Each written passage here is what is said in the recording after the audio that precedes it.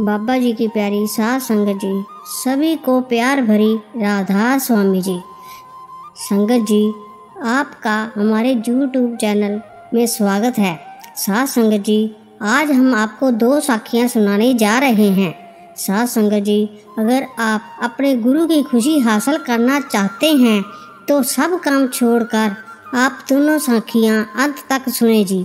सात संगत जी, हमें दूसरी दौलत की तरह नाम की दौलत की कमाई के लिए भी पूरी लगन से मेहनत करनी चाहिए, क्योंकि नाम का खजाना हमारे अंदर है। उसकी चाबी सतगुरु जी ने हमें दे दी है। केवल बातें बनाने से धन प्राप्त नहीं हो सकता। रास्ता और मंजिल दोनों ही हमारे अंदर हैं। हमें केवल अंदर जाकर अपनी यात्रा शुरू करनी है।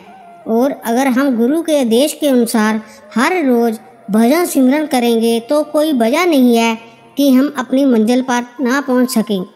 साथ संगत जी, आज की पहली जो साखी है, वह बहुत ही प्यारी साखी है। साथ संगत जी, जहाँ पर गुरु जी का ज़िक्र हो, गुरु की बातें हो, उससे अच्छी जगह और क्या हो सकती है? क्योंकि गुरु में असीम पावर होती है, क्योंकि मालक इंसान का रूप लेकर गुरु के जामे में आता है और हम जैसे पापियों पर दया करके हमें नाम की दात देता है। संगत जी, अगर आपने किसी सख्त ज़मीन पर किसी लोहे के किल को गाड़ना हो, ऐसा नहीं है कि आप उसे एक ही बार में गाड़ देंगे। आपको बार बार उसे हथौड़े से मारना पड़े, पड़ेगा। तब जाके जो किल ज़मीनी के अंदर जाएगी। इसी प्रकार जैसे जैसे आप सत्संग सुनते रहोगे सेवा और भजन सिमरन करते रहोगे, आपके अंदर भी चोट लगती रहेगी। दिन आपको, एक दिन आपको सत्संग की ऐसी चोट लगेगी, आप परमात्मा के रंग में रंग जाओगे।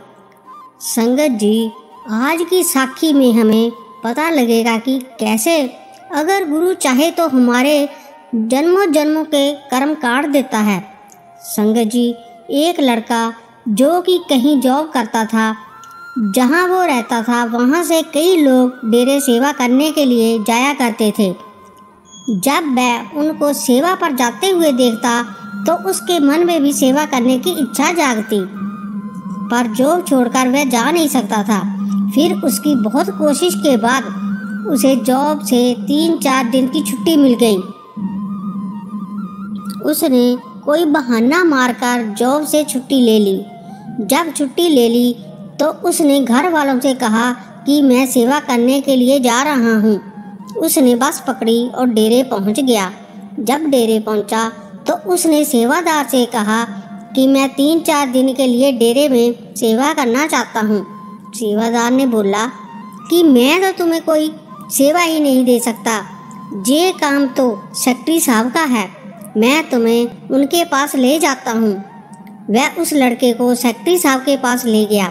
सेक्रेटरी साहब ने पूछा, बताओ, बेटा क्या काम है?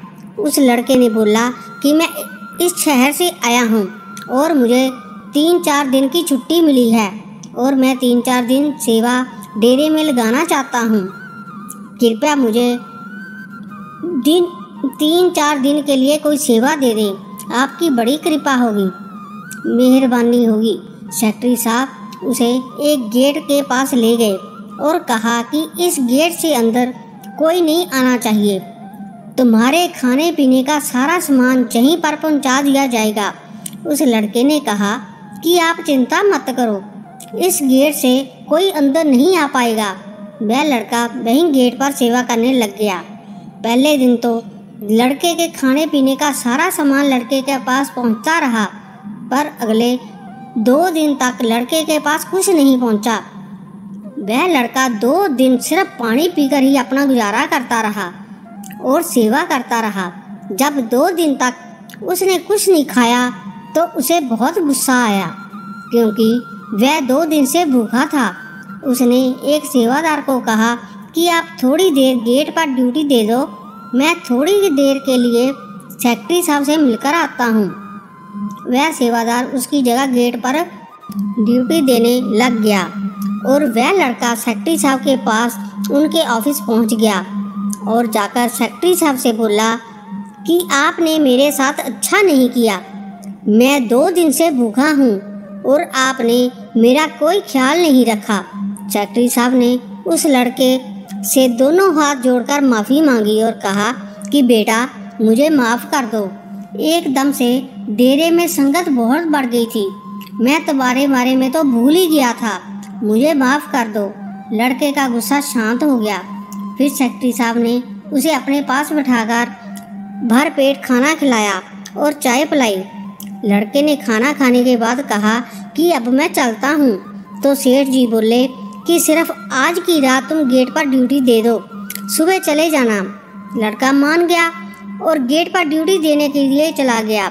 जब रात हो गई तो देर रात तक किसी ने गेट खटखटाया। लड़का बोला कि कौन है? दूसरी तरफ़ से आवाज़ आई, गेट खोलो, मैंने अंदर आना है। लड़का बोला, अंकल जी, मुझे गेट खोलने का हुक्म नहीं है। मैं किसी को अंदर नहीं आने दे सकता। मुझे माफ़ कर दें। तो दूसरी तरफ़ से आवाज़ आई कि अगर अंदर नहीं आने देना तो मत आने दो। पर मैं प्यासा हूँ। मुझे एक गिलास पानी तो पिला दो। वह लड़का बोला कि जी हाँ पानी तो मैं पिला सकता हूँ, पर आप गेट के अंदर नहीं आएँगे। उधर से आवाज़ आई, ठीक है, मैं नहीं आऊँगा। पानी तो पिला दो। लड़के ने पानी का गिलास भरा और गेट खोलकर जब पानी देने लगा तो उसने देखा कि गेट पर तो बाबा जी खड़े हैं। उसकी आँखों में आँसू छलकने लग गए। अक्सर हम देखते हैं, जब बाबा जी के दर्शन देने के लिए आते हैं तो कैसे संगत की आँखों में आँसू छलकने लग जाते हैं? खैर, बाबा जी ने पानी का गिलास लिया और कहा कि, बेटा, तेरा दो दिन भूखा रहना जाया नहीं गया। तेरे दो जन्म भिखारी के होने थे, जो कि तेरे दो दिन भूखे रहने से कट चुके हैं। मैं बस यही बात तुझको बताने के लिए आया था। ये कहकर बाबा जी वहाँ से चले गए। संगत जी सदगुरु कैसे हमें बुरे कर्मों से बचाते हैं? हमें तो पता ही नहीं चलता किस किस रूप में आकर वह हमारी सहायता करता है, और फिर भी वह मालिक हमें कभी भी जताता नहीं है। वह क्या क्या किया है, और हम थोड़ी सी सेवा करके और थोड़ा सा भजन करके उसे बताने लग जाते हैं। संगत जी, हमें हमेशा उसके बहाने में रहना चाहिए।